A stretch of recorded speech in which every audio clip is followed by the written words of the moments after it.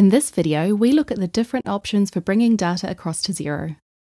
We also look at what you can import, how to prepare your data, and what format it needs to be in for a successful import. When you convert to Xero, you decide how much data you want to bring across. To get started, enter your opening balances from your previous accounting system as conversion balances in Xero. Make sure everything is up to date and correct in your previous system. Then run a trial balance report for the day before your conversion date to get the opening balances. The conversion date is usually the day you start using Xero and is the date of your opening account balances.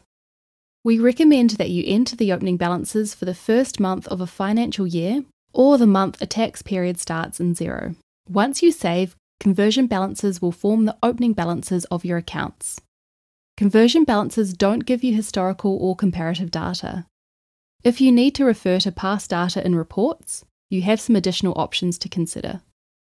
The first option is to add comparative balances. These are older balances you can use to compare against newer balances in your reports. Add comparative balances for as many years as you need, starting with the most recent year end before your conversion date. Choose this option if you only need to compare current with past performance in reports. The second option is to convert all historical data to Xero. This requires a large amount of data entry. How much you enter depends on how far back you want to go.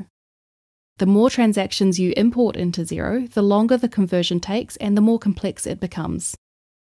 Before you commit to this task, assess the need for historical data and check if you'll have access to your previous accounting system or exported information. If this is the way forward, we recommend you contact a Xero certified advisor or conversion partner to help you. Before you export data from your previous system, you need to know what data you can import into Xero. Make sure you can access the data exported from your previous system in a spreadsheet. This lets you copy the data into our templates ready to import. Most imports in Xero use a comma separated value format, or CSV for short. Now let's take a look at what you can import. First, you can import your own chart of accounts with or without balances. Or you can simply use Xero's default chart. Next, you can import your contacts, invoices, and bills to keep records of your transactions with customers and suppliers. To maintain a fixed assets register, import your assets with their accumulated depreciation and book value. If you buy and sell products or services, import inventory items and opening balances in bulk, and track the quantity and value of goods on hand. If you don't track inventory, use inventory items to speed up your data entry when creating transactions in Xero. If you've signed up for a bank feed, there might be statement lines missing from your conversion date to the date the bank feed starts. You can import these statement lines yourself. Now that you know what data you can import into Xero, let's take a look at how to prepare the data for import. It's best practice to clean up data in your previous system before you export it. Consider the garbage in, garbage out principle. The quality and accuracy of your Xero data is only as good as the data you import. First, check the accuracy of your data. Look for common errors that always need correcting at year end and fix missing or duplicate transactions. Next, look for messy data.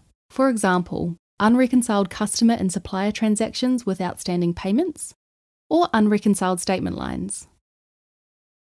Match payments with outstanding invoices in your previous system and reconcile outstanding bank statement lines so you're confident with the bank's starting position.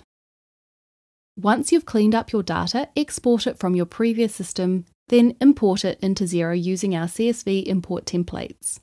If your previous system doesn't export data in a CSV or other spreadsheet format, export in a text format.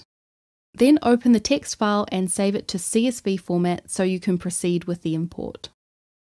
Check out Xero Central for more detailed information about converting text files and importing data into Xero.